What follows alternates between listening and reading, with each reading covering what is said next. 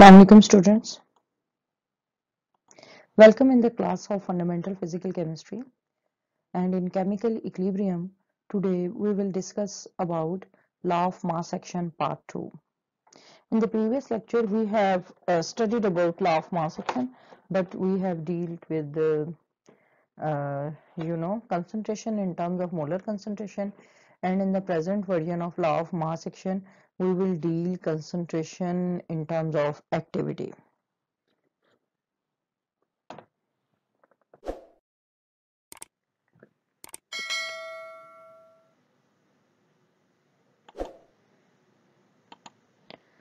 Okay,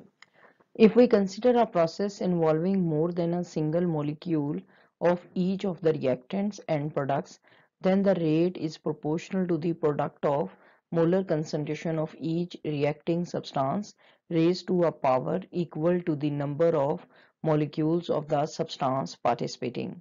तो जैसा कि मैंने पिछले वाले लेक्चर में कहा था कि वो वाली फॉर्म जो लॉ ऑफ़ मास एक्शन की थी वो सिंपल फॉर्म थी, ठीक है? अब हम क्या कर रहे हैं कि हम ये जो रिएक्टिंग मॉलिक्यूल्स हैं, जैसे ए और B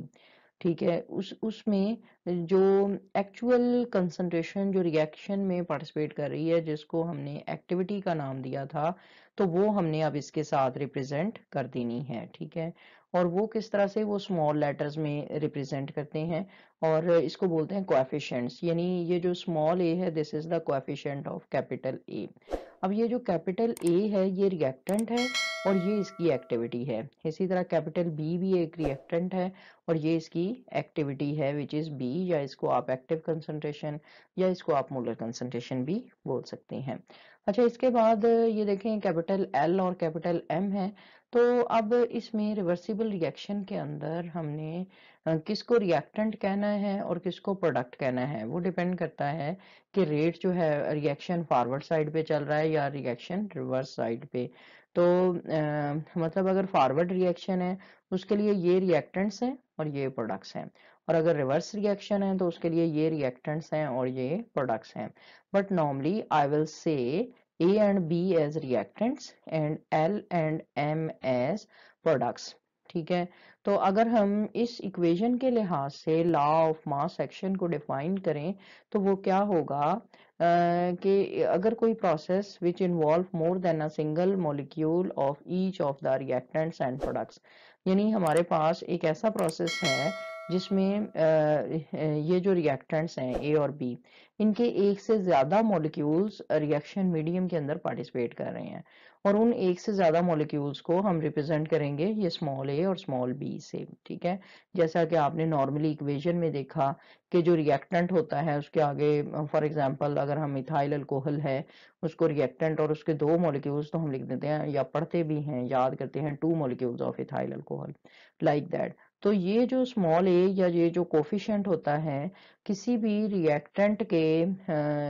number of molecules which are taking part in the reaction या जो ऑर्डर ऑफ़ रिएक्शन को डिटरमिन करते हैं, उसको हम यहाँ पर ये लिख देते हैं, ठीक है? तो तो रेट ऑफ़ रिएक्शन जो है this will be proportional to the product of molar concentration of each reacting substance raised to a power equal to the number of molecules of substance participating. तो इसको अगर हम ये इस तरह से रेट की फॉर्म में लिखें तो वो क्या होगा कि हम कहेंगे रेट ऑफ़ रिएक्शन यानी for example rate of forward reaction K F this is proportional to the product of concentration of the substances यानी प्रोडक्ट ए और बी की रेज टू द पावर फिर हमने ये ये वाली टर्म्स अब आ गई। Raise to the power which is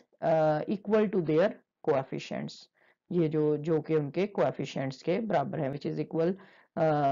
to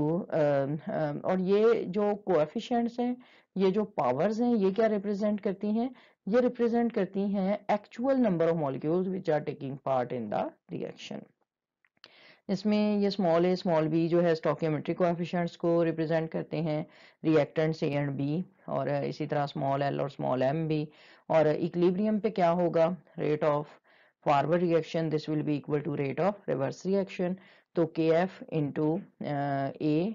raised to power small a b raised to power small b uh, this is equal to kf raised to power sorry एक तरफ़ फॉरवर्ड रिएक्शन आएगा और ये reverse reaction आएगा K R L raise to power L और ये M raise to power M equilibrium पे K F over K C sorry K F over K R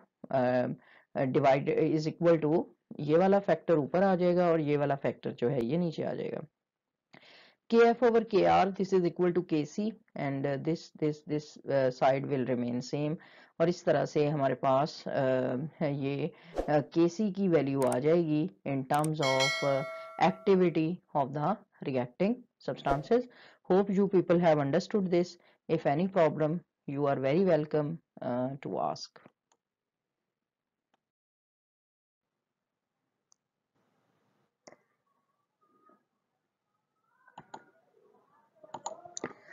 The value of Kc is independent of the molar concentration of reactants and products uh, but changes only with change in temperature ठीक है तो ये Kc जो है equilibrium constant this only depends upon the temperature and its value will change only when the temperature is changed uh, अब जो पीछे हमने इक्वेशन देखी है Kc वाली uh, this is a mathematical representation of law of chemical equilibrium Uh,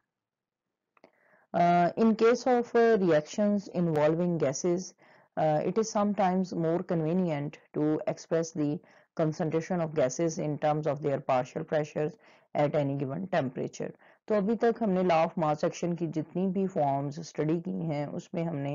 reactants को liquid form में लिया है इसलिए हम मोल पर डीएम क्यूब जो है उसकी कंसंट्रेशन हमने डिस्कस की है but if we have you know reactants which are gases तो उसमें क्या होगा कि हम उनकी कंसंट्रेशन को फिर किसी भी टेम्परेचर पे पार्शियल uh, प्रेशर की फॉर्म में एक्सप्रेस करेंगे। For example P A P B P L and P M etcetera these are the partial pressure of gaseous species uh, then the equilibrium constant kp इसको हम किस तरह से represent करेंगे? यानी अगर हम uh, ये pa और pb pl और pm अगर हम ये कंसिडर करें कि ये जो a b L और M ये गैशियस स्पीशीज हैं तो अब हम आ, ये जो P है ये इसके पा, इसका पार्शियल प्रेशर कंसिडर करेंगे। यानी PA का मतलब ये होगा partial pressure of reactant A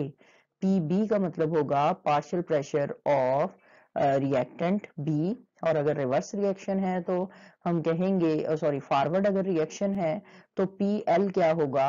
Partial pressure of product L और पी एम क्या होगा? Partial pressure of product M इस केस में हम इक्विलिब्रियम प्रेशर को किस तरह से रिप्रेजेंट करेंगे?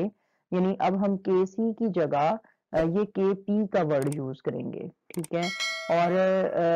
यहाँ पर एक्टिविटी की जगह हम पार्शियल प्रेशर का वर्ड जो है वो यूज़ करेंगे। और, ये क्या है कि partial pressure of you know component L और क्योंकि मतलब एक्चुअली जैसा कि मैंने पहले कहा, अब हम ये एल एम या ए बी को रिएक्टेंट या प्रोडक्ट जो है इस सेंस में कहेंगे दैट द रिएक्शन इज़ इधर फॉरवर्ड और रिवर्स तो चलो मैं फॉरवर्ड रिएक्शन ही कंसीडर कर लेती हूँ। तो फिर हम कहेंगे partial pressure of product L raise to power L ठीक है? तो ये यहाँ पर फिर वही स्मॉल एल जो है, ये एक्टिव प्रेशर को रिप्रेजेंट करेगा। Likewise partial pressure of component और product M raise to power small M likewise partial pressure of component A raised to power A partial pressure of component B raised to power B यहाँ पर मैं फिर repeat कर देती हूँ कि ये जो स्मॉल लेटर्स हैं L, M, A और B तो ये एक्टिव प्रेशर जो है उसको रिप्रेजेंट करेंगे यानी उन मॉलिक्यूल्स का प्रेशर जो कि एक्चुअली रिएक्शन के अंदर पार्टिसिपेट कर रहे हैं ओके okay. तो अगर हम कंसंट्रेशन को in terms of mole fraction represent करें तो मोल फ्रैक्शन के लिए जिस तरह प्रेशर के लिए सिंबल P यूज़ होता है तो मोल फ्रैक्शन के लिए सिंबल X यूज़ होता है। तो सिंपली आपने क्या करना है कि हर जगह पे P की जगह X P को X से रिप्लेस कर देना है। तो ये बन जाएगा K x is equal to x L raise to power L x M raise to power M x A raise to power A x N raise to power N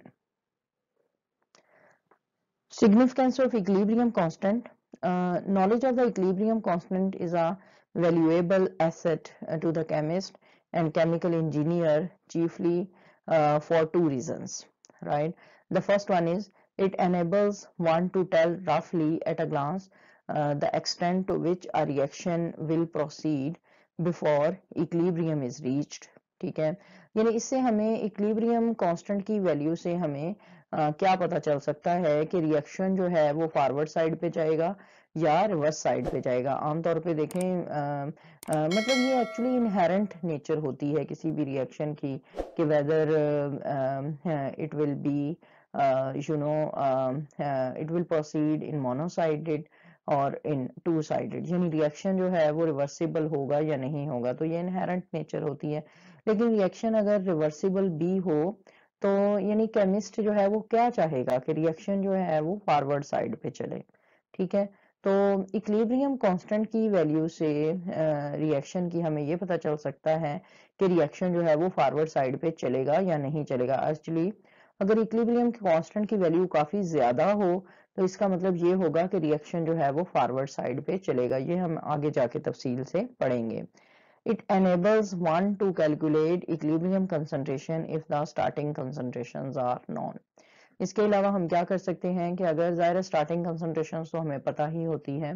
तो इस इक्वेशन के थ्रू से हम equilibrium concentration of the reactants and products जो है वो determine कर सकते हैं right so uh, this is the end of today's lecture. And in the next lecture we will study about the relationship between different equilibrium constants. मसलन यहाँ तक तो हमने तीन तरह के इक्लिब्रियम कॉन्स्टेंट्स देख लिए हैं। एक के सी